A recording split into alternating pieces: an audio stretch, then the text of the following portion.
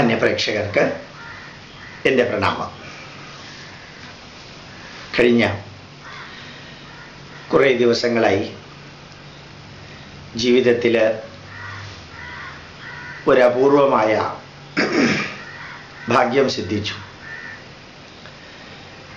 ആഫ്രിക്കയിൽ സാംബിയ എന്നൊരു ദേശത്ത് അതിന്റെ തലസ്ഥാനമായ ലുസാക്കയിൽ ഏഴ് ദിവസത്തെ പ്രഭാഷണ പരിപാടികളുമായിട്ട് ഒരു യാത്ര. അവിടുത്തെ സനാതന ധർമ്മവേദിയുടെ പ്രവർത്തകരായ ശ്രീ അനിൽകുമാറും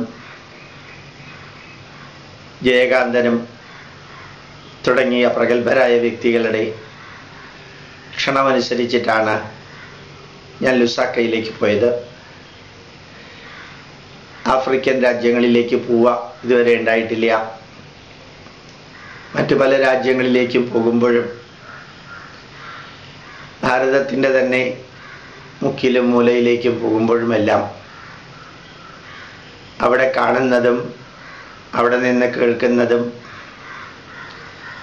അതെല്ലാം വിലയിരുത്തിയിട്ട് യൂട്യൂബിൽ പ്രേക്ഷകരുടെ മുമ്പിൽ സമർപ്പിക്കാറുണ്ട്. അതിന്റെ പ്രധാന ഉദ്ദേശം ഒരു യാത്ര ചെയ്തു എന്നുള്ളതിന്റെ അനുഭവങ്ങൾ പങ്കുവയ്ക്കുകയല്ല. ഒരു യാത്രാ വിവരണം നൽകുകയുമല്ല. മറിച്ച് ഭാരതീയമായ പൈതൃകവും സനാതനധർമ്മവും ലോകത്തിലെങ്ങനെ പ്രചരിക്കുന്നു അല്ലെങ്കിൽ അവഹേളിക്കപ്പെടുന്നു. ഇങ്ങനെയുള്ള രണ്ട് കാര്യങ്ങളും അറിയുന്നതാണ് എന്റെ പ്രധാനമായിട്ടുള്ള ലക്ഷ്യം. സനാതനധർമ്മ മൂല്യങ്ങൾ എങ്ങനെയാണ് ലോക ജനതയെ ഇരുപത്തൊന്നാം നൂറ്റാണ്ടിൽ സ്വാധീനിക്കുന്നത്? ഓരോ ദേശത്തും ഓരോ സ്ഥലത്തുമുള്ള ജനങ്ങളിൽ എത്രത്തോളം അന്ധവിശ്വാസങ്ങളും ദുരാചാരങ്ങളും നിലനിൽക്കുന്നുണ്ട്. എത്രത്തോളം നന്മകൾ നിലനിൽക്കുന്നുണ്ട്. അതുപോലെ ഭാരതീയരും ഭാരതീയരല്ലാത്തവരുമായ വ്യക്തികൾ ഭാരതത്തിനകത്തും പുറത്തും നമ്മുടെ മൂല്യങ്ങളെ എങ്ങനെ അവഹേളിക്കുന്നു. ഇങ്ങനെയുള്ള എല്ലാ വശങ്ങളും പരിശോധിക്കാൻ തന്നെയാണ് യാത്രയിലെ ഓരോ നിമിഷവും ഉപയോഗിക്കാറുള്ളത്. ലുസാക്കയിലെ യാത്ര വളരെ വളരെയധികം പ്രയോജനപ്രദമായിരുന്നു. എനിക്ക് ആ യാത്രയെ ഒന്ന് ഒരൊറ്റ വരിയിൽ പറയുകയാണെങ്കിൽ ഭാരതം എന്ന രാഷ്ട്രം മുമ്പോട്ടുള്ള പ്രയാണത്തിൽ ഭാരത ജനത ഹിന്ദു ആവട്ടെ ക്രിസ്ത്യാനിയാവട്ടെ മുസൽമാനാവട്ടെ ഈശ്വര വിശ്വാസിയോ നിരീശ്വരവാദിയോ ആരുമാകട്ടെ മുമ്പോട്ടുള്ള പ്രയാണത്തിൽ എന്തെല്ലാം തിന്മകൾ ഒരു കാരണവശാലും ജീവിതത്തിൽ പകർത്തരുത് എന്നുള്ളതിന് ജീവിക്കുന്ന ഒരു ഉദാഹരണമാണ് സാംബിയ എന്ന ദേശം എന്ന് തോന്നാറുണ്ട്. എവിടെ നിന്ന് തുടങ്ങണം എവിടെ അവസാനിപ്പിക്കണം എന്നുപോലും അറിയാത്ത വിധത്തിലുള്ള ഒരു ദൃശ്യമാണ് അവിടെ കണ്ടത്. ഏതാണ്ട് രണ്ട് കോടിയിൽ താഴെ ജനങ്ങളുള്ള നല്ല കാലാവസ്ഥയുള്ള നല്ല കാർഷിക വിളഭൂമിയായിട്ടുള്ള വർഷങ്ങൾ കൊണ്ട് ലോകരാഷ്ട്രങ്ങളുടെ മുൻനിരയിൽ വരാവുന്ന സർവചൈതന്യവുമുള്ള ഒരു രാഷ്ട്രത്തിന്റെ അധോഗതിയാണ് എനിക്ക് തോന്നുന്നു സാംബിയയിൽ കാണാനും കേൾക്കാനും സാധിച്ചത്. വളരെ അഗാധമായ പഠനത്തിലൂടെ എത്തിച്ചേർന്ന ഒരു നിഗമനമല്ല ഇത്.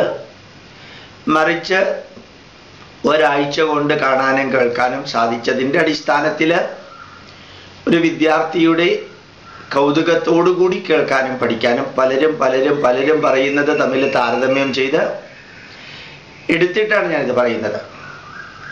ഇംഗ്ലീഷുകാർ ഭരിച്ച് ഒരു രാഷ്ട്രത്തെ കുത്തുവാള എടുപ്പിച്ചത് എങ്ങനെയാണെന്ന് അറിയണമെങ്കിൽ ആഫ്രിക്കൻ രാജ്യങ്ങളിൽ പോയാൽ മതി.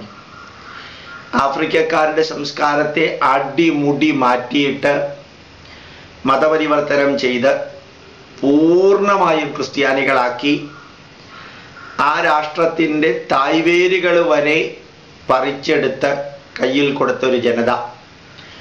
മതപരിവർത്തനത്തിന്റെ ദൂഷ്യബലങ്ങൾ അറിയണമെങ്കിൽ ക്രൈസ്തവവൽക്കരണത്തിന്റെ ദൂഷ്യഫലങ്ങൾ അറിയണമെങ്കിൽ ഈ ഒരു രാജ്യത്തിലേക്ക് പോയാൽ മതി.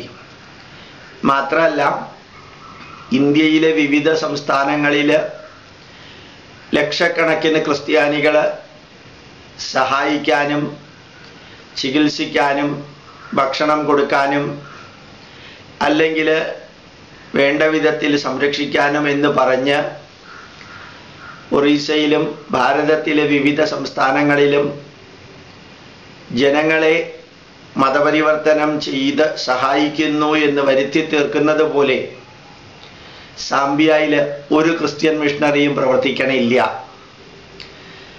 എന്തുകൊണ്ട് ക്രിസ്ത്യൻ മിഷണറിമാർ അവിടെ പ്രവർത്തിക്കുന്നില്ല? ഉത്തരം ലളിതാണ്. എല്ലാവരെയും മതപരിവർത്തനം ചെയ്ത് കഴിഞ്ഞാൽ എല്ലാവരും ക്രിസ്ത്യാനികളായി കഴിഞ്ഞാൽ ഇനി ആരെയും ക്രിസ്ത്യാനികളാക്കാനില്ല. പിന്നെന്തിനാ സഹായിക്കാൻ പോകുന്നത്? അതുകൊണ്ട് അവർ നിത്യ ദാരിദ്ര്യത്തിലാണ് കഴിയുന്നത്. ഒരു മിഷണറിയും അവിടെ ഇല്ല. മറ്റൊരു മതത്തിലേക്ക് അവർ പരിവർത്തനം ചെയ്യാൻ പാകത്തിന് മറ്റു മതത്തിലെ ആൾക്കാർ അവിടെ ഇല്ല. അതുകൊണ്ട് തന്നെ സാംസ്കാരിക മൂല്യങ്ങൾ വേരോടുകൂടി പിഴുതെറിഞ്ഞ ഒരു രാഷ്ട്രത്തിന്റെ ദുഃഖം. പുതിയത് അവർക്കൊട്ട് സ്വീകരിക്കാൻ പറ്റണമില്ല പഴയത് മുഴുവനും ഇല്ലാതെയാവുകയും ചെയ്തൊരു രാഷ്ട്രം. കേവലം പത്ത് ശതമാനം ജനങ്ങൾ മാത്രം സാമ്പത്തികമായി തരക്കേടില്ലാത്ത ലെവലിലിരിക്കുന്നു. ബാക്കി തൊണ്ണൂറ് ശതമാനവും ദാരിദ്ര്യത്തിന്റെ പരമകാഷ്ഠയിൽ കഴിയുന്ന ഒരു രാജ്യം. വിദ്യാഭ്യാസം എന്ന് പറയുന്നത് തൊട്ടു തീണ്ടിയിട്ടില്ല. വളരെ കുറച്ച് പേര് മാത്രം കുറച്ച് സ്റ്റാൻഡേർഡ് വരെ പത്താം ക്ലാസ് വരെയോ മറ്റോ കുട്ടികളെ സ്കൂളിലേക്ക് അയക്കും. അത് കഴിഞ്ഞാൽ ഏതെങ്കിലും ജോലിയായി. പെൺകുട്ടികളാണെങ്കിൽ പന്ത്രണ്ട് പതിമൂന്ന് വയസ്സിൽ പ്രസവിക്കുന്നു. കല്യാണം കഴിക്കാം കല്യാണം കഴിക്കാതിരിക്കാം. മാത്രമല്ല വേദനാജനകമായ വസ്തുത ആശുപത്രി സൗകര്യങ്ങളൊന്നും മിനിമം ആവശ്യത്തിന് പോലും ഇല്ലാത്ത അവസ്ഥയിൽ ജനിക്കുന്ന കുട്ടികൾ എപ്പോൾ വേണമെങ്കിലും മരിക്കാം.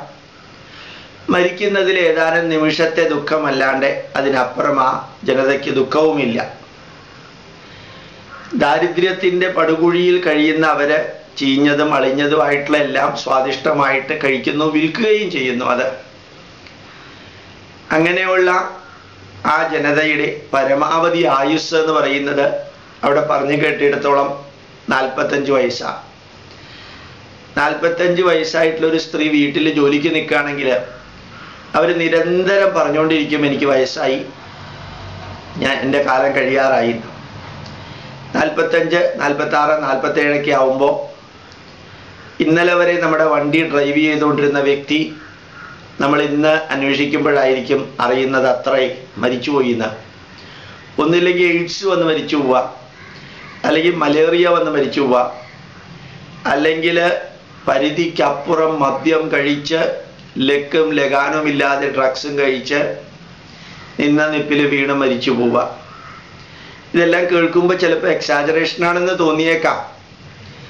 പക്ഷെ ലഭിക്കാവുന്ന സർവ വിവരണങ്ങളും വിവരങ്ങളും ശേഖരിച്ചിട്ടാണ് ഞാൻ നിങ്ങളുടെ മുമ്പിൽ ഇത് സമർപ്പിക്കുന്നത്. ഭാരതത്തിൽ ലൈംഗികത സെക്ഷുവാലിറ്റി പരിധിക്കപ്പുറം കയറി കയറി കയറി വരുന്ന ഒരവസ്ഥയിൽ ഏതെല്ലാം തരത്തിലുള്ള രോഗങ്ങളാ വരാൻ സാധ്യതയുള്ളത് ഭാരതത്തിൽ എന്നറിയണമെങ്കിൽ ഒന്ന് സാമ്പിയയിലേക്ക് നോക്കിയാൽ മതി.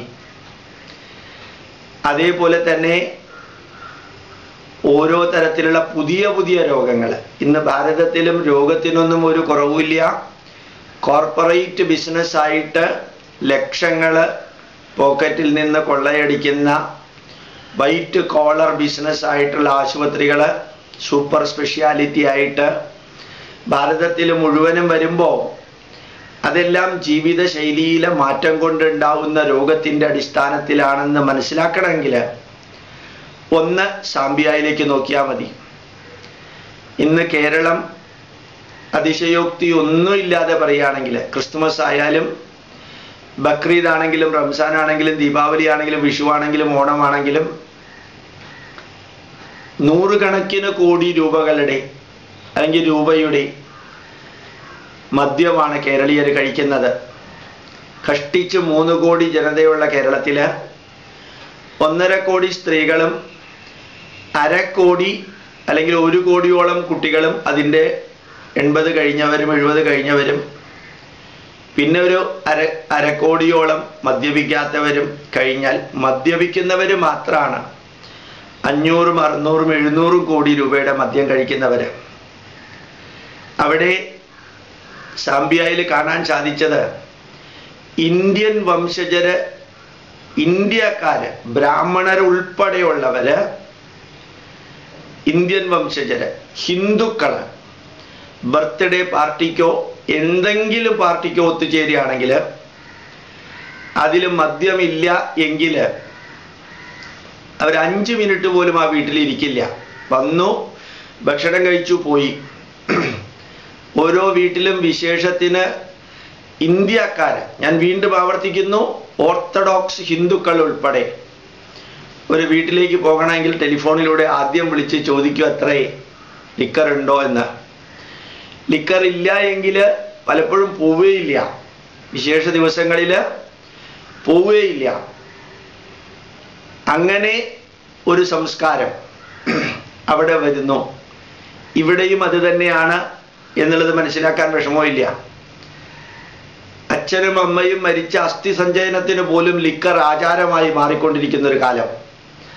അസ്ഥി സഞ്ചയനം നടക്കുമ്പോൾ ബീഫും ചിക്കനും മട്ടണും ഹിന്ദുക്കളുടെ വീട്ടിൽ കോമൺ ആയിക്കൊണ്ടിരിക്കുന്ന ഒരു കാലം. ഒന്ന് സാമ്പിയയിലേക്ക് നോക്കിയാൽ മതി. റെഡ് മീറ്റ് കഴിച്ചിട്ട തൊണ്ണൂറ് ശതമാനം ആൾക്കാർ ഓവർ ഈറ്റിംഗ് കൊണ്ട് മരിക്കുന്നത് എന്നുള്ളതാണ് അവിടുത്തെ റിപ്പോർട്ട് മലേറിയ വേറൊന്ന് എയ്ഡ്സ് വേറൊന്ന് ഡ്രഗ്സ് വേറൊന്ന് ലിക്കർ വേറെ ഒന്ന് ഇത് ഇന്ന് കേരളത്തിലും ഭാരതത്തിന്റെ വിവിധ ഭാഗങ്ങളിലും നിറഞ്ഞിരിക്കുന്ന അതേ അതേ ശൈലിയാണ് ആ ലെവലിലില്ല എന്ന് മാത്രമേ ഉള്ളൂ. അപ്പൊ നമ്മൾ മദ്യത്തിന്റെ നേരെ അഗ്നിപർവതത്തിന്റെ മുകളിൽ നിൽക്കുന്നു. ഡ്രഗ്സ് എത്രത്തോളം വ്യക്തികൾക്കുണ്ടെന്ന് പുറത്ത് ആർക്കും അറിയാൻ സാധിക്കണില്ല.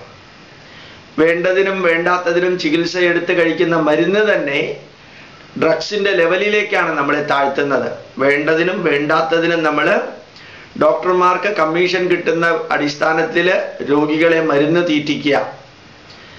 രോഗികളെ തീറ്റിക്കുന്ന മരുന്നിന്റെ സൈഡ് ഇഫക്റ്റ് അനുഭവിച്ച വ്യക്തി എന്നുള്ള നിലയിലാണ് ഞാൻ നിങ്ങളോട് പറയുന്നത്. ഡ്രഗ്സിന് പകരം മെഡിസിൻസ് ആണ് ഇവിടുത്തെ ഡ്രഗ്സ് ഇവിടെ ഇരുപത്തിരണ്ട് ലക്ഷം പശുക്കളെ ഒരാഴ്ച കൊല്ലുന്നത്. അത്ഭുതം തോന്നും ഇത് എങ്ങനെയാ തിന്നു തീർക്കുന്നത് എന്നുള്ളത്. അവിടെയും അത് തന്നെയാണ് നോൺ വെജിറ്റേറിയൻ മാത്ര. വെജിറ്റേറിയൻ വളരെ കുറച്ചേ ഉള്ളൂ. ആ നോൺ വെജിറ്റേറിയനിൽ നിന്ന് അകത്തേക്ക് കയറുന്ന എല്ലാം അവരെ കാർന്ന് തിന്നുന്ന ഒരു കാഴ്ച. അത് തന്നെ കേരളത്തിലേക്ക് വന്നുകൊണ്ടിരിക്കുന്നു. ശരിക്കും ഒന്ന് ചിന്തിച്ചു നോക്കാം. മാതൃഭൂമി പേപ്പറിന്റെ എട്ടാമത്തെ പേജ് ഒന്ന് എടുത്തു നോക്കിയാൽ പ്രായമായവർ എത്ര പേര് മരിക്കുന്നു? മധ്യവയസ്കർ എത്ര പേര് മരിക്കുന്നു? പ്രായം കുറഞ്ഞവർ എത്ര പേര് മരിക്കുന്നു എന്നുള്ളൊരു ലിസ്റ്റ് ആ കളർ ഫോട്ടോ സഹിതം കാണാൻ സാധിക്കും. ആക്സിഡന്റിൽ മരിക്കുന്നവരുടെ കാര്യമല്ല ഞാൻ പറയുന്നത്. ഏതെങ്കിലും കാരണത്താൽ മരിക്കുന്നവരുടെ കാര്യം. അപ്പൊ സാംബിയ എന്നൊരു രാജ്യം ഇന്ന് ലോകരാഷ്ട്രങ്ങളിൽ poor country developed country developing country poor country എന്ന ആ പുവർ കൺട്രിയുടെ കീഴിൽ വരുന്ന രാജ്യത്തിൽ ജനങ്ങൾ എത്രത്തോളം ഭക്ഷണത്തിന്റെ കാര്യത്തിൽ മദ്യത്തിന്റെ കാര്യത്തിൽ ഡ്രഗ്സിന്റെ കാര്യത്തിൽ വിദ്യാഭ്യാസമില്ലായ്മയുടെ കാര്യത്തിൽ വിവാഹത്തിന്റെ സ്റ്റാറ്റസ് തകർന്ന് തരിപ്പണമാകുന്ന കാര്യത്തിൽ ഒരു സ്ത്രീ ഒരു പുരുഷനെ വിവാഹം കഴിച്ച് ഗർഭം ധരിച്ച് ചിലപ്പോൾ പ്രസവിക്കുന്നതിന് മുമ്പ് തന്നെ ഡൈവോഴ്സ് ആയി എന്ന് വരും. ആ സ്ത്രീ ഉടനെ വേറൊരുവനെ വിവാഹം കഴിക്കലാണ്. പിന്നെ വേറൊരു വലിയ പ്രത്യേകത അവനവൻ ഇഷ്ടമുള്ള പുരുഷനിൽ നിന്ന് കുട്ടികളെ സമ്പാദിച്ച് വിവാഹം കഴിക്കാത്ത ജീവിതമുണ്ട്. ആ കുട്ടികളെ നോക്കാൻ ആരുമില്ല തലോടാൻ ആരുമില്ല സ്നേഹം കൊടുക്കാൻ ആരുമില്ല. ഇത് അതേപോലെ അല്ലെങ്കിലും മറ്റൊരു രീതിയിൽ കേരളത്തിൽ വരുന്നുണ്ട്. അത്ഭുതകരമായ വസ്തുത കേരളത്തിൽ കാണുന്നത് ഇന്ന് കുടുംബ കോടതിയിലെ വക്കീലന്മാര് അഡ്വക്കേറ്റുമാര് വാതുവെച്ച് ലക്ഷങ്ങൾ മേടിച്ചിട്ടാണ് ഭാര്യാഭർത്താക്കന്മാരെ സ്പ്ലിറ്റ് ചെയ്യിക്കാം. പ്രകൃതി പോലും കൊടുക്കുന്ന ശാപമായിരിക്കും ആ അഡ്വക്കേറ്റിന്റെ വീട്ടിൽ അതേപോലെ ഒരു കുളം തോണ്ടൽ ഉണ്ടായാൽ എങ്ങനെ ഇരിക്കുന്നുള്ളത്? കുടുംബഛിദ്രം കേരളത്തിൽ ഇന്ത്യയിലെ മറ്റേത് സംസ്ഥാനങ്ങളെക്കാളും കൂടുതൽ വരുമ്പോൾ സാമ്പിയായിലെ കുട്ടികൾക്ക് ഉണ്ടാവുന്ന അതേ അധോഗതിയാണ് ഇവിടുത്തെ കുട്ടികൾക്ക് ഉണ്ടാവുന്നത്. നമ്മൾ അറിയുന്നില്ലെന്ന് മാത്രമേ ഉള്ളൂ. ഈ മുകളിലെ ഭംഗിയായിട്ടുള്ള കാഴ്ചയൊന്നും അല്ല പല വീടുകളിലും അകത്തേക്ക് ഇറങ്ങി ചെന്ന് നോക്കിയാൽ അറിയാം.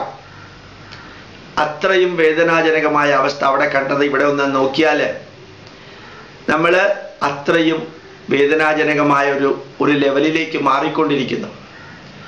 സാംസ്കാരികമായിട്ട് ഭാരതം കേരളത്തിലെ ക്രിസ്ത്യാനികൾ നമ്മുടെ പൈതൃകത്തെ ഉന്മൂലനം ചെയ്ത് വിദേശത്തുള്ള മിഷണറിമാര് ഉൾപ്പെടെ വിസ പത്തൊൻപതാമത്തെ കാറ്റഗറിയിലുള്ള വിസയിൽ ഇവിടെ കൊണ്ടുവന്ന് അനുദിനം പാവപ്പെട്ടവന്റെ ജീവിതത്തിലേക്ക് യേശു ക്രിസ്തുവിന്റെ വെളിച്ചം വീശാനാണെന്നുള്ള ഭാവത്തിൽ പോപ്പ് പണ്ട് പറഞ്ഞ പോലെ ഇരുപത്തൊന്നാം നൂറ്റാണ്ട് ഇന്ത്യയെയും ചൈനയെയും മതപരിവർത്തനം നടത്താൻ ഇവിടെ രാഷ്ട്രീയക്കാരും മത നേതാവികളും കർദിനാൽമാരും ബിഷപ്പുമാരും ഉൾപ്പെടെ ഈ ലോഹയിട്ട് കാട്ടിക്കൂട്ടുന്ന ചതിയും വഞ്ചനയും പറ്റിക്കലും പാവപ്പെട്ട ഹിന്ദുക്കളെ ഇഗ്നോറന്റായ ഹിന്ദുക്കളെ അന്ധവിശ്വാസത്തിൽ നിറഞ്ഞിരിക്കുന്ന ഹിന്ദുക്കളെ പുതിയ വെളിച്ചം വീശാനാണെന്നും പറഞ്ഞ് അമേരിക്കയിലും ഇംഗ്ലണ്ടിലും യൂറോപ്പിലും എല്ലാം പുറന്തള്ളിയ ആ മതത്തെ ഇവിടെ വിറ്റ് കാശാക്കുക. കാശുകൊണ്ട് അത് വിറ്റ് കാശാക്കുക. ഒരു കോർപ്പറേറ്റ് ബിസിനസ്സാണ് മതപരിവർത്തനം ഇന്ന്. ഇന്ത്യയിൽ അത് അവിടെയും നമുക്ക് കാണാൻ സാധിച്ചു. ഇന്ന് ആഫ്രിക്കക്കാർക്ക് ആഫ്രിക്കയുടെ സംസ്കാരം ഇല്ല. അവരുടെ സാംസ്കാരിക മൂല്യങ്ങളിലെ ഒരു അംശം പോലും അവിടെ ഇല്ല. ലോകത്തിൽ ഏറ്റവും ആദിവാസികളായ ജനിച്ച് സാംസ്കാരിക മൂല്യങ്ങളുടെ ഉത്തുംഗ ശൃംഗത്തിലിരുന്ന ഒരു കുട്ടിക്കും ഒരു വീട്ടുകാർക്കും അവരുടെ സംസ്കാരം എന്താണെന്ന് അറിഞ്ഞൂടാ. അങ്ങനെ സാംസ്കാരിക മൂല്യങ്ങളില്ലാതെ കുടുംബ ബന്ധങ്ങളില്ലാതെ സാമൂഹിക ബന്ധങ്ങളില്ലാതെ തകർന്ന് തരിപ്പണമായിരിക്കൊണ്ടിരിക്കുന്ന ഒരു രാഷ്ട്രം. അതിന്റെ ഒരു ഫോട്ടോ മുമ്പിൽ വെച്ച് കേരളത്തിലെ ക്രിസ്ത്യാനികളും മറ്റുള്ളവരും ഒന്ന് ചിന്തിച്ചാൽ ഒരു പത്തിരുപത് വർഷം കഴിയുമ്പോൾ ഭാരതം എങ്ങോട്ട് എന്നുള്ളത് മനസ്സിലാക്കാൻ ആ ചിത്രം സഹായിക്കും. പണ്ട് പത്തെഴുപത് എൺപത് വർഷങ്ങൾക്ക് മുമ്പ് ആയിരക്കണക്കിന് ഗുജറാത്തികൾ ഗുജറാത്തികളായ ഹിന്ദുക്കളും ഗുജറാത്തികളായ മുസ്ലിങ്ങളും ഇന്ത്യയിൽ നിന്ന് സാംബിയയിലേക്ക് കുടിയേറി പാർത്തു. അത്ഭുതകരമായ വാർത്ത ഞാൻ കേട്ടതും കണ്ടതും ഗുജറാത്തികളായ ഹിന്ദുക്കൾ അല്ലെങ്കിൽ ഹിന്ദുക്കളായ ഗുജറാത്തികൾ നല്ല വിദ്യാഭ്യാസം നേടി നല്ല സാമ്പത്തികമായ ഉയർച്ചയിലേക്ക് അവിടെ എത്തി നല്ല ബിസിനസ്സുകാരാണ് അവർ. അവരൊന്ന് രണ്ട് മൂന്ന് നാല് അമ്പലങ്ങളും ഉണ്ടാക്കിയിട്ടുണ്ട്. ഗുജറാത്തികളായ മുസ്ലിങ്ങൾ എന്ത് ചെയ്തു? എട്ട് ഒമ്പത് പത്ത് ക്ലാസ് വരെ പഠിച്ചിട്ടുള്ളൂ. അവർ മതപരിവർത്തനം മതപഠനം നടത്തിയിട്ട് അനവധി മോസ്കുകൾ ഉണ്ടാക്കിയിട്ടുണ്ട്. ഇപ്പൊ അവിടെ കണ്ട കാഴ്ച ധാരാളം കറുത്ത വർഗക്കാര് ഈ പർദ്ദയിട്ട് നടക്കുന്നു. അത് അടുത്ത കാലത്താണ് അത്രേ പണ്ടതുണ്ടായിരുന്നില്ല. എങ്ങനെയാ ഇവർ ഈ പർദ്ദയിട്ട് നടക്കുന്നത്? കണ്ടു കഴിഞ്ഞ മുസ്ലിങ്ങളാണെന്ന് പറയാൻ സാധിക്കില്ല. ഈ ഗുജറാത്തിൽ നിന്ന് പോയ മുസ്ലിങ്ങൾ അവർക്ക് ധാരാളം പൈസയുണ്ട് ലാൻഡ് ഉണ്ട് നല്ല ജോലിയുണ്ട് നല്ല ബിസിനസ് ഉണ്ട് ജോലിയല്ല ബിസിനസ്സാണ് അവരുടെ മെയിൻലി ആ ബിസിനസ്സിൽ സഹായിക്കാനായിട്ട് ആഫ്രിക്കക്കാരെ ജോലിക്ക് വെക്കും. കൂലി കൊടുത്ത് കൂലിക്കാരായിട്ട് ജോലിക്ക് വെച്ച് ഓരോരുത്തരെ ഇസ്ലാമിലേക്ക് കൺവെർട്ട് ചെയ്യാണ്. ഇന്ത്യൻ മുസ്ലിം ഗുജറാത്തി മുസ്ലിങ്ങൾ സാംബിയക്കാരെ ഇസ്ലാമിലേക്ക് കൺവെർട്ട് ചെയ്യുകയാണ് അത് വളരെ വളരെ ഫാസ്റ്റായിട്ട് നടക്കുന്നു. അത് മാത്രമല്ല അതിനൊരു കാരണം കൂടിയുണ്ട്. അമേരിക്കയിലേക്ക് കുറച്ചു കാലങ്ങൾക്ക് മുമ്പ് പോയപ്പോൾ ഞാൻ കേട്ട കേൾക്കുകയും ന്യൂയോർക്കിൽ കാണുകയും ചെയ്യാൻ സാധിച്ച വസ്തുത എന്ന് പറയുന്നത് ഈ ഇംഗ്ലീഷുകാരെ ക്രിസ്ത്യാനികൾ അമേരിക്കയിൽ അവരുടെ വീടുകൾ പഴയ വീടുകളൊക്കെ വിൽക്കുമ്പോൾ അത് വാങ്ങിക്കുന്നത് മുഴുവൻ മുസ്ലിങ്ങളാണ് എന്നിട്ട് പച്ച പെയിന്റ് അടിച്ചതിനെ മോസ്കാക്കുകയോ അല്ലെങ്കിൽ പ്രാർത്ഥനാലയമാക്കുകയോ ചെയ്യും. അമേരിക്കയിലെ കറുത്ത വർഗക്കാരായ ക്രിസ്ത്യാനികളെ മുസ്ലിങ്ങളാക്കുന്നതിൽ അമേരിക്കൻ മുസ്ലിങ്ങൾ എങ്ങനെയാണ് വിജയിച്ചിരിക്കുന്നത്? ഒറ്റ വരിയിലാണ്. നിങ്ങളുടെ പൂർവീകര് ആഫ്രിക്കക്കാരെ അപ്പാർത്തിയുടെ അങ്ങനെ തുടങ്ങിയ വർണവിവേചനത്തിന്റെ അടിസ്ഥാനത്തിലും മറ്റും നിങ്ങളെ ചങ്ങലക്കിട്ട് അമേരിക്കയിൽ കൊണ്ടുവന്ന് ഈ അമേരിക്കക്കാരുടെ അച്ഛനും മുത്തച്ഛനും മുതുമുത്തച്ഛന്മാരും നിങ്ങളെ അടിമകളാക്കി ഉപയോഗിക്കുക ചെയ്തത്. ആ ഇംഗ്ലീഷുകാരുടെ മക്കളും മക്കളുടെ മക്കളുമാണ് ഇപ്പോൾ അമേരിക്കയിൽ ജീവിക്കുന്നത്. ആ മുത്തച്ഛനും അവരുടെ പൂർവീകരും കറുത്ത വർഗക്കാരോട് ചെയ്ത അനീതിക്കെതിരെ പോരാടണമെങ്കിൽ ഇസ്ലാം മതം സ്വീകരിക്കണം എന്ന് പറഞ്ഞിട്ടാണ് അമേരിക്ക ഇന്ന് ഇസ്ലാമീകരണത്തിന്റെ വക്കിലെത്തി നിൽക്കുന്നത് അത്രേ. മറ്റൊരു രീതിയിൽ സാമ്പിയായിൽ നടക്കുന്നു. ഈ ക്രിസ്ത്യാനികൾ കൺവെർട്ട് ചെയ്ത് കഴിഞ്ഞ് ക്രിസ്തുമതവുമില്ല യേശു ക്രിസ്തുവുമില്ല ബൈബിളുമില്ല സാമ്പിയാക്കാരുടെ മനസ്സിൽ. അവരുടെ മനസ്സിൽ ഒന്നുമില്ല. ഡ്രഗ്സും ലിക്കറും കുറച്ച് മീറ്റും കുറച്ച് അന്നന്നത്തെ ജീവിതവും. നാൽപ്പത്തഞ്ച് നാൽപ്പത്തെട്ട് വയസ്സാവുമ്പോഴത്തേക്കും ഒരു സുപ്രഭാതത്തിൽ തീരുകയും ചെയ്യും. ഓരോ സ്ത്രീകളുടെ അല്ലെങ്കിൽ പുരുഷന്മാരുടെ അടുത്ത് എന്ന് ചോദിച്ചാൽ അവരെല്ലാം നല്ലവരാ. പക്ഷെ നിഷ്കളങ്കരാ പറ്റിക്കപ്പെട്ടവരാ രോഗികളാ. ഏത് നിമിഷവും മരണത്തെ സ്വീകരിക്കാൻ തയ്യാറായിരിക്കുന്നവരാ. മരണം പോലും ദുഃഖമല്ലാതായിരിക്കുന്നവരാണ്. ഞാൻ അവിടെ ഇരിക്കുമ്പോഴാണ് നെൽസൺ മണ്ടേല മരിച്ചത്. ഈ നെൽസൺ മണ്ടേല മരിച്ച ആ വാർത്ത എല്ലാ പത്രങ്ങളിലും വന്നത് ഗുഡ് ബൈ മണ്ടേല എന്ന് പറഞ്ഞിട്ടാണ്. വലിയ അക്ഷരത്തിലാണ് ഗുഡ് ബൈ മണ്ടേല. നമ്മൾ ഈ ഗുഡ് ബൈ പറയാറില്ലേ? ഗുഡ് ബൈ എന്ന് പറയുമ്പോൾ ഞാൻ യാത്ര പോയിട്ട് വരാമെന്ന അർത്ഥത്തിലാണ്. ഇവിടേക്ക് ആരെങ്കിലും മരിച്ചു കഴിഞ്ഞാൽ ആ വാക്കിൽ വേദന സ്ഫുരിക്കണം. വേദനാജനകമായ ഒന്നാണ് മരണം എന്നാണ് ഭാരതീയർക്ക് തോന്നിയിരിക്കുന്നത്. ബന്ധത്തിന്റെ കാഠിന്യം എത്ര കൂടുതലുണ്ടോ അത്രയ്ക്കും വേദനയുണ്ടാവും. അവിടെ ബന്ധം എന്ന് പറയുന്ന സാധനമേ ഇല്ല. അതുകൊണ്ട് മരണം ഒരു ഹോട്ടലിൽ ചെന്ന് ഊണ് കഴിക്കുന്ന മാതിരിയാണെന്ന് തോന്നുന്നു. കുടുംബ ബന്ധം തകരുന്നതിന്റെ പര പരമമായ അവസ്ഥ. അങ്ങനെയുള്ള ഒരവസ്ഥയിൽ ഹിന്ദുക്കൾ കുറേശ്ശെ ഹിന്ദു ധർമ്മത്തെക്കുറിച്ച് ബോധവാന്മാരായിട്ടുണ്ട്. പക്ഷേ എല്ലാം പ്രാർത്ഥന അല്ലെങ്കിൽ മണ്ഡല പൂജ അല്ലെങ്കിൽ കുറച്ച് പൂജ അതിൽ മാത്രം ഒതുങ്ങിയിരിക്കുക. ഭാരതീയ പൈതൃകത്തെക്കുറിച്ച് യാതൊരു വശവും അറിയാത്തവരാണ് അവർ. അവരതിനെക്കുറിച്ച് ഇഗ്നറന്റ് ആണ്. ഇഗ്നോറന്റ് ആണെന്ന് മാത്രമല്ല ഇഗ്നോറന്റ് ആണെന്നുള്ളതും കൂടി അവർ ഇഗ്നറന്റ് ആണ്. ആന്ധ്രാക്കാര് തിരുപ്പതി അമ്പലങ്ങൾ ഉണ്ടാക്കുന്നുണ്ട്. ഒറീസക്കാര് അവരുടേതായ ജഗന്നാഥ ക്ഷേത്രങ്ങൾ ഉണ്ടാക്കുന്നുണ്ട്. കേരളീയര് അയ്യപ്പ പൂജയും അയ്യപ്പ ക്ഷേത്രങ്ങളും ഉണ്ടാക്കാനുള്ള സംവിധാനമുണ്ട്. ശ്രീലങ്കക്കാരും തമിഴരും ഒക്കെ പഴനിയമ്പലം ഉണ്ടാക്കുന്നുണ്ട്. അത് എനിക്ക് വ്യക്തിപരമായിട്ട് വളരെ സന്തോഷം തോന്നിയ കാര്യമാണ്. പക്ഷേ ഇവിടെ സംഭവിക്കുന്നത് നമ്മുടെ ധർമ്മത്തെക്കുറിച്ച് അവർക്കൊന്നും അറിഞ്ഞുകൂടാ. സൂപ്പർഫിഷ്യൽ ആയിട്ടുള്ള ഉപരിപ്ലവമായിട്ടുള്ള കുറേ ചടങ്ങുകളും ആചാരങ്ങളും മാത്രം ഒരു ഹിന്ദുവും സാമ്പിയാക്കാരന്റെ വേദനയിൽ പങ്കെടുക്കുന്നതായിട്ട് കണ്ടില്ല. എന്നാലും ചിലർ സഹായിക്കുന്നുണ്ടെന്ന് പറയുന്നു. സനാതന ധർമ്മവേദി നടത്തുന്ന പരിപാടികളിൽ നിന്ന് ലഭിക്കുന്ന മിച്ചമായിട്ടുള്ള തുക അവിടെ ഓർഫനേജസിലേക്ക് കൊടുക്കുന്നതായിട്ടാണ് എന്നോട് സംഘാടകർ പറഞ്ഞത്. എല്ലാ വർഷവും അങ്ങനെ ചെയ്യാറുണ്ട്. അതൊരു സന്തോഷം തോന്നിയ കാര്യമാണ്. മറ്റ് നല്ല സമ്പന്നരായ ഹിന്ദുക്കൾ ഒരു സേവന പ്രവർത്തനവും ജനറലി നടത്തുന്നതായിട്ട് കണ്ടില്ല കേട്ടില്ല. എന്നെ കൊണ്ടുപോയ വ്യക്തികളും അതുമായിട്ട് ബന്ധപ്പെട്ടവർ കുറച്ച് പേര് പറയാറുണ്ട്. കുറേ പൈസ ഞങ്ങൾ പാവങ്ങൾക്ക് കൊടുക്കാറുണ്ട്. അവരെ സഹായിക്കാറുണ്ട്. അങ്ങനെ ചെയ്തില്ലെങ്കിൽ മഹാഭാവമുണ്ട് കാരണം അവരുടെ മണ്ണിൽ വന്നിട്ടാണ് നമ്മൾ ബിസിനസ് നടത്തുന്നത് എന്ന് പറഞ്ഞ കുറച്ച് പേരെ കണ്ടുവെങ്കിലും മറ്റ് ഉള്ളവര് പ്രത്യേകിച്ച് ആഡംബരപൂർണമായൊരു ജീവിതം നയിച്ച് വേദന എന്താണെന്ന് പോലും അറിയാതെ ജീവിക്കുന്നു. പല സ്ത്രീകളും പല പുരുഷന്മാരും പന്ത്രണ്ടും പതിനാലും മണിക്കൂറാണ് വീട് വീട്ടുജോലിയും അല്ലെങ്കിൽ മറ്റു ജോലിയൊക്കെ ചെയ്യുന്നത്. തുച്ഛമായിട്ടുള്ള പൈസയ്ക്ക്. അതെനിക്ക് അത്ഭുതം തോന്നി. ആ ആ സർവൻസിനെ ഉപയോഗിച്ച് സന്തോഷിക്കുന്ന ധാരാളം വീട്ടുകാരുണ്ട്. ഇപ്പൊ ഇന്ന് ജോലിക്കാരെ കിട്ടാൻ ഒരു വിഷമവും അവിടെ ഇല്ല. ഒരു വിഷമവും ഇല്ല അത് കാരണം ചൈനക്കാരെല്ലാം ഇവിടെ വലിയ വലിയ പ്രോജക്റ്റുകളാണ് ചെയ്യുന്നത്. ആ ചൈനക്കാർ വലിയ പ്രോജക്റ്റ് ചെയ്യുമ്പോൾ അത് മുഴുവനും ആ പ്രദേശത്തുള്ള സാമ്പിയാക്കാരാണ് ജോലിക്കാരെ. തുച്ഛമായിട്ടുള്ള ശമ്പളം കൊടുത്താൽ മതി. രാവിലെ തൊട്ട് രാത്രി വരെ അവർ വർക്ക് ചെയ്തോളും. ടിബറ്റുകാരെ എങ്ങനെയാണോ ചൈനക്കാർ കൊന്നു കുഴിച്ചു മൂടിയത് അതേപോലെയാണ് സാമ്പിയാക്കാരെ ചൈനക്കാര് ദുരുപയോഗം ചെയ്യുകയോ ഉപയോഗം ചെയ്യുകയോ ചെയ്യുന്നത്.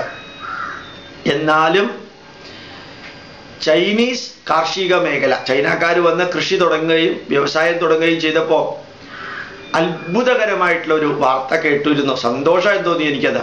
ഇന്ത്യ ഗവൺമെന്റ് എങ്ങാനും പ്രാവർത്തികമാക്കിയിരുന്നെങ്കിൽ നന്നായേനെ നന്നായേനെന്ന് തോന്നി. ചൈനയിലെ ജയിലുകളിൽ കഴിയുന്ന എല്ലാ തടവുകാരും അവരെ നേരെ സാമ്പിയയിലേക്ക് അയക്കുകയാണ്. അവർ അവിടുത്തെ കൃഷിക്കാരാണ്. മറ്റുള്ളവർക്ക് കൊടുക്കുന്ന അത്രയും ശമ്പളം ഈ തടവുകാർക്ക് കൊടുക്കും. ഒരു ജന്മം മുഴുവനും തടവറയിൽ കിടന്ന് നരകിക്കേണ്ട ആവശ്യമില്ല. നല്ല കൃഷിക്കാരായിട്ട് കൃഷി ചെയ്യുന്നവരായിട്ട് കൃഷിപ്പണിക്കാരായിട്ട് നല്ല ശമ്പളവും മേടിച്ച് എത്ര വർഷമാണോ അവർക്ക് ജയിലിൽ ചൈനയിൽ കഴിയേണ്ടത് അത്രയും വർഷം ഇവിടെ കർഷക തൊഴിലാളികളായിട്ടോ അല്ലെങ്കിൽ വ്യാവസായിക തൊഴിലാളികളായിട്ടോ നല്ല ശമ്പളത്തോടു കൂടി ജോലി ചെയ്ത് നന്മ നിറഞ്ഞ ജീവിതത്തിലേക്ക് തിരിച്ചു വരാൻ ചൈനീസ് ഗവൺമെന്റ് അവിടത്തെ തടവുകാർക്ക് ചൈനീസ് തടവുകാരെ സാംബിയയിൽ കൊണ്ടുപോയിട്ട് ചെയ്യുന്നുണ്ടെന്ന് കേട്ടു. ഇതുവരെ ലോകത്തിൽ എവിടെ പോയിട്ടുണ്ടെങ്കിലും ഇങ്ങനെ ഒന്നും കേട്ടിട്ടില്ല. കേരള ഗവൺമെന്റിനും ഇന്ത്യ ഗവൺമെന്റിനും ചെയ്യാൻ സാധിക്കുന്ന ഒരു മാതൃകയാണ്. തീർച്ചയായിട്ടും കേരള ഗവൺമെന്റ് വേറൊരു രീതിയിൽ ചെയ്യുന്നുണ്ട്. ജയിലുകളിൽ ചപ്പാത്തിയും കറിയും എല്ലാം ഉണ്ടാക്കി വളരെ വളരെ താഴ്ന്ന വിലയ്ക്ക് വിൽക്കുക. അടുത്ത കാലത്ത് കേട്ടൊരു റിപ്പോർട്ട് ഈ ചപ്പാത്തിയും ഇഡ്ഡലിയും കറിയും എല്ലാം ഉണ്ടാക്കി വിൽക്കുന്ന ആ കർമ്മ പദ്ധതിയിൽ ഏർപ്പെട്ടിരിക്കുന്ന കേരളത്തിലെ തടവുകാര് അവരുടെ ആ ക്രിമിനൽ സ്വഭാവം അടിമുടി മാറിയിരിക്കുന്നു. നല്ല ജീവിതത്തിലേക്ക് വരാൻ അവർക്ക് ഭയങ്കരമായിട്ടുള്ള മാറ്റം ഉണ്ടായിട്ടുണ്ട്. അത് എടുത്തു പറയേണ്ട ഒരു കാര്യമാണ്. എത്ര അഭിനന്ദിച്ചാലും മതിയാവാത്ത ഒരു കാര്യമാണ്. ചൈനയിലെ തടവുകാരെ സാംബിയയിൽ കൊണ്ടുപോയിട്ട് വർക്ക് ചെയ്യിക്കുമ്പോൾ കേരളത്തിലെ തടവുകാരെ കേരളത്തിൽ തന്നെ വർക്ക് ചെയ്യിക്കുന്നതും അഭികാമ്യമാണ് അനുമോദനീയമാണ് വളരെ നല്ലതാണ്. അത് അവിടെ ഞാൻ കേട്ടിരുന്നു. നമ്മുടെ ഇന്ത്യയിലുള്ള ജയിലുകളിലെല്ലാം എത്രയോ തടവുകാർ നിറഞ്ഞിരിക്കുക. എത്രയാണെന്നുള്ളത് ആർക്കും പിടുത്തമില്ല. കഴിഞ്ഞതിന്റെ മുമ്പിലത്തെ ആഴ്ച ടി വിയിൽ കണ്ടു. അറുന്നൂറോളം ആദിവാസികൾ എന്താണ് അവരുടെ പേരിലുള്ള കേസ് എന്ന് പോലും അറിയാതെ ജയിലിൽ കിടക്കുന്നതായിട്ട് മനുഷ്യാവകാശ കമ്മീഷൻ കണ്ടുപിടിച്ചിരിക്കുന്നു കേരളത്തിൽ ആദിവാസികൾ പാവങ്ങൾ ജയിലിൽ കിടന്നിട്ട് ആരും ചോദിക്കാനോ ഇല്ല അഡ്വക്കേറ്റുമാര് പുറത്തേക്ക് കൊണ്ടുവരാനോ ജാമ്യം എടുക്കാനോ ഇല്ലാതെ. അറ്റ്ലീസ്റ്റ് അവരെ പോലെയുള്ളവരെയും അല്ലാത്തവരെയും എല്ലാം നന്മയിലേക്ക് കൊണ്ടുപോകുന്ന ഒരു കാഴ്ച ചൈനീസ് ഗവൺമെന്റ് ചെയ്യുന്നത് കണ്ടു. ഇതെല്ലാം കൂടി ചേർത്ത് എനിക്ക് ഒന്നേ പറയാനുള്ളൂ. ഒരു രാഷ്ട്രത്തിൽ നിന്ന് ധാരാളം നമുക്ക് പഠിക്കാനുണ്ട്. ധാരാളം പഠിക്കാനുണ്ട്. ഇതിൽ ഒന്നാമത് പഠിക്കാനുള്ളത് മതപരിവർത്തനത്തിന്റെ തിക്തഫലങ്ങൾ രണ്ടാമത് പഠിക്കാനുള്ളത് സാംസ്കാരിക മൂല്യങ്ങൾ വേരോടുകൂടി പഴുതെറിയുന്ന ക്രിസ്ത്യൻ മിഷണറിമാർ ചെയ്യുന്ന നിന്ദ്യമായ കർമ്മത്തിന്റെ പരിണതഫലം മൂന്നാമതായിട്ട് പറയാനുള്ളത് മദ്യത്തിന്റെ അഡിക്റ്റ് ആയിട്ടുള്ള വ്യക്തികളുടെ അന്ത്യം. ഡ്രഗ്സിന്റെ അഡിക്റ്റ് ആയിട്ടുള്ളവരുടെ അന്ത്യം വിദ്യാഭ്യാസമില്ലാതെ വളരുന്ന തലമുറ സാംസ്കാരിക മൂല്യങ്ങളില്ലാതെ കുടുംബ ബന്ധത്തിന്റെ മഹത്വം അറിയാതെ ലൈംഗിക ബന്ധത്തിൽ ഏർപ്പെട്ട് പന്ത്രണ്ടും പതിമൂന്നും വയസ്സാവുമ്പോൾ അമ്മയായി കുട്ടിയും അമ്മയും എല്ലാം എപ്പോൾ വേണമെങ്കിലും മരിച്ച് അങ്ങനെ ഒരു ലെവലിലേക്ക് പോകുന്ന അവസ്ഥ. പിന്നെ ഒരു രാഷ്ട്രത്തിന്റെ അഴിമതിയുടെ കൂത്തരങ്ങായിട്ടുള്ള ഒരു രാഷ്ട്രം. കഴിഞ്ഞ വർഷം അവർ ജനറലി പറയാറുണ്ട് കഴിഞ്ഞ മന്ത്രിസഭയിലെ ഇപ്പൊ ഭരിക്കുന്ന വ്യക്തികൾ ഭരിക്കുന്നതിന് മുമ്പ് ഭരിച്ചവരുടെ പലരുടെയും വീട്ടുവളപ്പിൽ നിന്ന് നോട്ടുകെട്ടുകൾ പെട്ടിക്കകത്ത് മണ്ണിൽ കുഴിച്ചിട്ടിരിക്കുന്നത് എടുത്തത് ബുൾഡോസർ ഉപയോഗിച്ചിട്ടാണ് അത്രേ വളരെ കോമൺ ആയിട്ട് പറയുന്നത് കേട്ടതാണ്. അഴിമതിയുടെ കൂത്തരങ്ങായിട്ടുള്ള ഒരു രാഷ്ട്രം.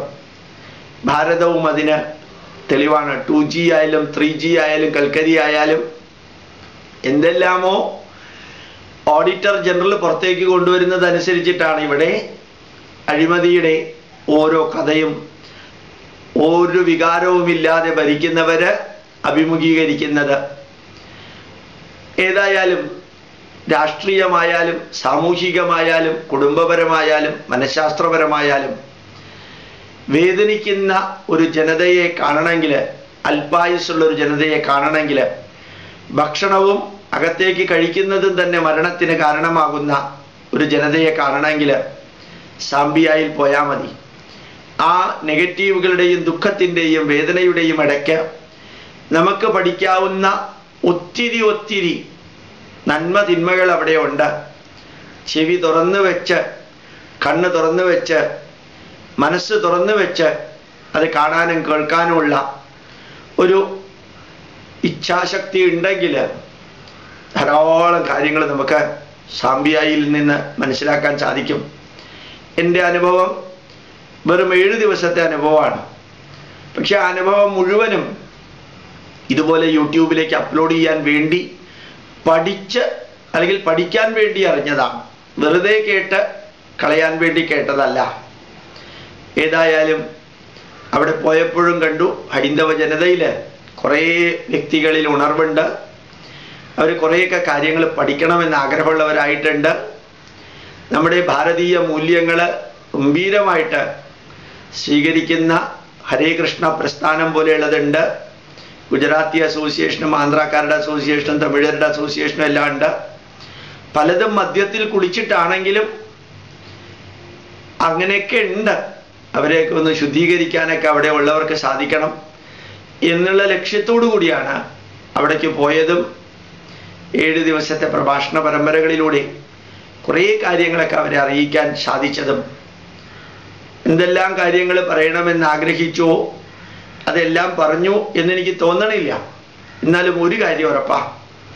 അമേരിക്കയിലേക്കും ഇംഗ്ലണ്ടിലേക്കും കാനഡയിലേക്കും മറ്റ് രാജ്യങ്ങളിലേക്കൊക്കെ പോകാൻ ഭാഗ്യം കിട്ടിയപ്പോൾ അവിടുത്തെ എല്ലാം ജനങ്ങളുടെ ആഡംബരവും ദൂർത്തും നേരിട്ട് കണ്ട് അതിന്റെ നേരെ ഓപ്പോസിറ്റുള്ള ഒരു രാജ്യം പ്രകൃതി വിഭവങ്ങൾ കൊണ്ട് സമ്പന്നമായ ഒരു രാജ്യം ദക്ഷിണ ഭാരതത്തേക്കാൾ വലിപ്പമുള്ള ഒരു രാജ്യം കേരളത്തിൽ തിരുവനന്തപുരത്തെയും കൊല്ലത്തെയും പത്തനംതിട്ടയിലെയും ജനസംഖ്യ മാത്രമുള്ള ഒരു രാജ്യം. മൂന്ന് ജില്ലകളിലെ ജനസംഖ്യയാണ് ഒരു രാജ്യത്തിലുള്ളത്.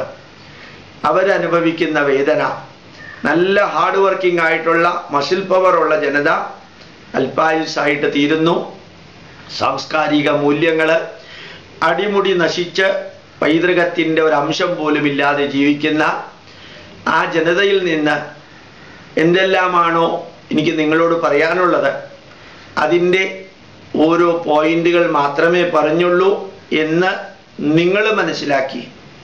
അതിനെ ഒന്ന് എക്സ്ട്രാപ്പൊളേറ്റ് ചെയ്ത് കുറെ കൂടി വിപുലീകരിച്ച് ഒന്ന് ചിന്തിക്കാനും മറ്റും നിങ്ങൾക്ക് സാധിച്ചാൽ നമ്മുടെ വ്യക്തിപരമായ ജീവിതത്തെ പരിശുദ്ധീകരിക്കാനും കുടുംബ ബന്ധങ്ങൾ കാര്യമായി ദൃഢമാക്കാനും എന്തെല്ലാം മോഡേൺ കാര്യങ്ങൾ പഠിക്കുമ്പോഴും നമ്മുടെ പൈതൃകവും സാംസ്കാരിക മൂല്യങ്ങളും നശിക്കാതെയും നശിപ്പിക്കാതെയും ഇരിക്കാനും.